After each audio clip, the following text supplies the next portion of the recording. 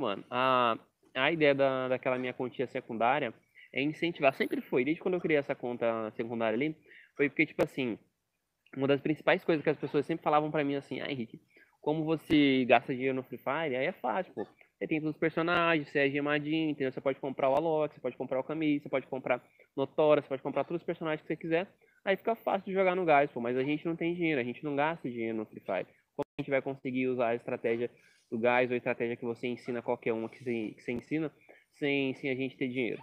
E aí, ouvindo muitas pessoas falando isso pra mim, eu peguei como incentivo e falei, pô, beleza, então vou usar uma conta onde eu não gasto nada nela, para mostrar para vocês que mesmo sem gastar nenhum diamante, dá para você subir o mestre em 48 horas, tá ligado? Essa sempre foi a ideia inicial daquela, daquela conta e até hoje tá assim, tá ligado? Teve uma época ali, uns dois, três meses que eu perdi ela, porque ela era conta só de convidado. E aí, sem querer, caiu a internet aqui, aí depois desvinculou a conta, entendeu?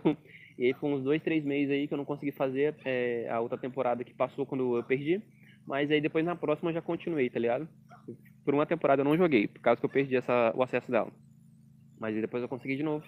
Então sempre foi essa ideia de, de uma conta secundária, tá ligado? E principalmente não gastar dinheiro nela.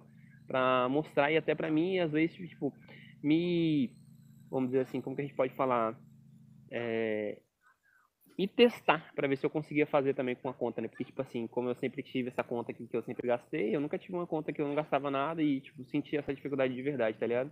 Mas foi massa, pô. Tipo assim, incentivou muita gente para mostrar para as pessoas que o negócio não é o diamante, o negócio é você saber usar a estratégia e ter paciência, tá ligado? Devagarinho e ganhando pontinho por pontinho, tá ligado?